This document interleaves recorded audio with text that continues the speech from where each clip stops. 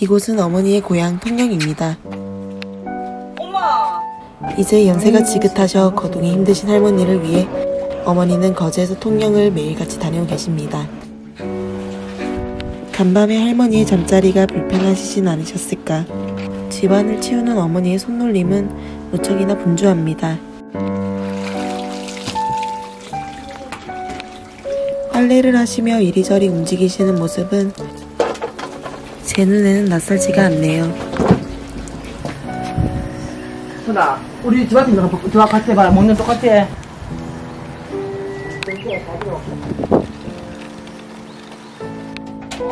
하룻밤 사이에 공백을 채우기 위해 더욱 분주히 움직이는 어머니의 손과 발.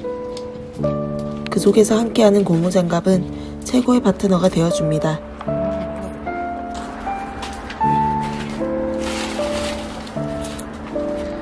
고무장갑을 바꾸시며 다른 일감을 하기 위한 채비를 하시고 손수레를 끌고 밭으로 향하시는 어머니의 뒷모습은 할아버지를 여의고 홀로 자식들을 키워내야 했던 어머니의 유년기 시절 할머니의 모습과 닮아 있노라는 생각이 들었습니다.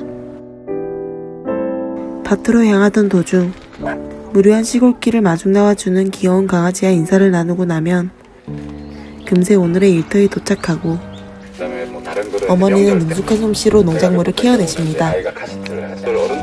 무릎은 펴질 줄을 모르지만 비어있던 손수레는 차곡차곡 쌓여갑니다. 동무가 되어주던 라디오 소리가 잦아들면 어머니는 그제서야 자리에서 일어나시고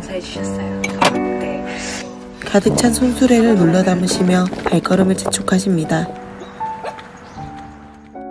어느새 해가 뉘엿뉘엿 저물어 가고 집으로 돌아온 어머니는 곧장 욕실로 향하시더니 할머니를 씻겨주시는데 여념이 없으십니다. 매치 앞에 물어 떨어지면서 제일 찌끄면 물어 봐. 어머니의 손길이 익숙치 않으셨던 할머니는 불만스러운 목소리를 내시지만 마음 한편으로는 이 또한 어머니의 사랑이라는 것을 알고 계십니다. 그렇기에 어머니는 그저 묵묵히 저녁 반찬거리를 준비할 따름입니다. 그런 어머니를 바라보시는 할머니가 갠슬의 냉장고를 뒤적거리십니다. 그 사이에 숨어 있던 보따리 하나. 이미 정성스레 싸두었던 보따리를 매만지시니 그제야 하루가 끝나가는 것을 알 수 있었습니다. 집 한켠에 있는 보일러실. 이곳에 손때 묻은 옷가지들과 집기들에서 어머니의 희로애락을 엿보고 세월과 함께 늘어난 어머니의 주름살을 보며 나이테를 떠올려 봅니다.